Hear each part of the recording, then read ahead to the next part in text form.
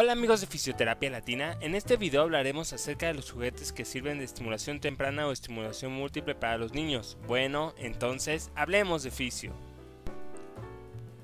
Antes de ver este video te recomiendo que veas nuestro video anterior donde hablamos de estimulación temprana para que tengas una mejor idea de lo que vamos a hablar a continuación. El desarrollo de los bebés es algo que se debe estimular desde que nacen y los juegos son una parte muy importante.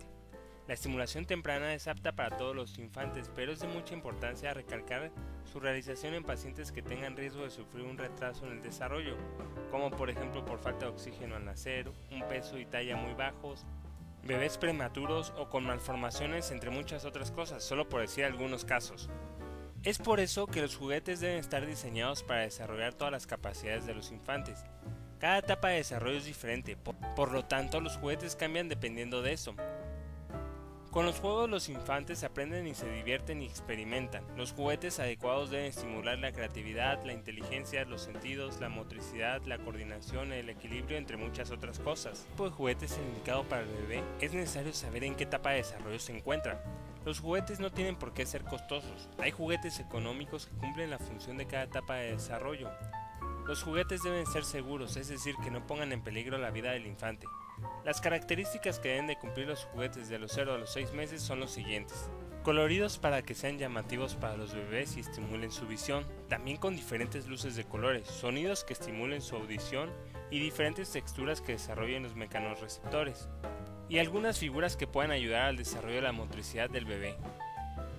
Las características que deben tener los juguetes de los 6 a los 12 meses son los siguientes. En esta etapa desarrollan aún más su motricidad, empiezan a llevarse objetos a la boca. Es por eso que es muy importante que los juguetes sean seguros. De igual manera empiezan a sentarse y son más libres en ciertos movimientos. Deben tener figuras y formas que puedan ensamblarse una con otras. Se pueden utilizar formas simples como círculos, cuadrados, rectángulos, entre otras cosas. Deben favorecer el desplazamiento del bebé y deben ser duraderos. El juguete debe estar diseñado para la interacción con el infante de manera más personal. Deben desarrollar la interacción con sonidos, formas y figuras como por ejemplo sonidos de animales o canciones infantiles. Eso fue todo por el video de hoy amigos de Fisioterapia Latina. Si te gustaría otro video con más etapas del desarrollo y con más descripciones de juguetes que puedan utilizar, dale like a este video y no olvides suscribirte para recibir más de nuestro contenido, porque ser un fisio es un vicio.